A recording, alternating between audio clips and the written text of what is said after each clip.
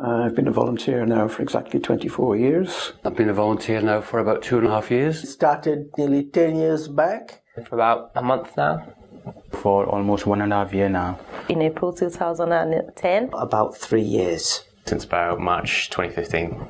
I've been volunteering for the last three weeks. This is my fourth week. Well, first of all, I was just retired. I wanted to change the direction of my life. At the time, I had lost a bit of confidence in myself. I had to give up work due to family commitments. I heard an advert for the Citizens Advice Bureau on the radio. I saw an advert in the paper. And that's when I saw the poster over there that most of the advisors were volunteers. I was surprised by the number of volunteers that actually help the organisation. You feel like you needed a lot of the time, which was a nice surprise, to be honest. I was amazed at the scope of information and advice that we can provide.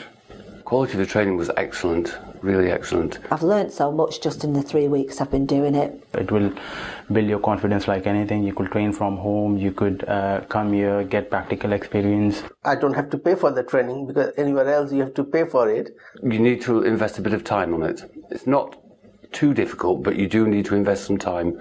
I had the support of um, the manager, the colleagues, the other advisors. Loads of support. The training opportunities are fantastic. What surprised me the most was probably the range of problems people have and how it all builds up. Well, you never know actually what's come to, going to come through the door. You are going to be challenged a lot of the time. You are going to need to develop as a person. They were more interested in my life experience and what that, those type of skills that you've got. You learn the skills to help people not just now, but in the future. You feel empowered. That's how I felt. It gives you that sense of purpose that you're doing something worthwhile. So it's getting me back into routine, being back in work, being around people. Such a huge range of people and experiences that I've come across. It's just the, the, the, diversity of the people and everybody's coming with a different set of skills. There's a big team and everybody's helpful. New volunteers are always welcome because the experienced people who are already here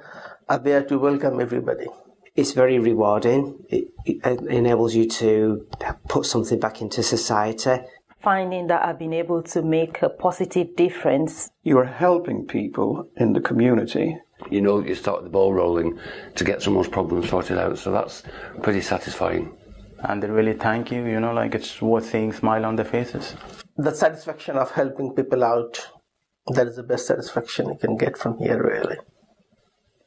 A lot of people tend to believe that they've reached the top of their learning skills.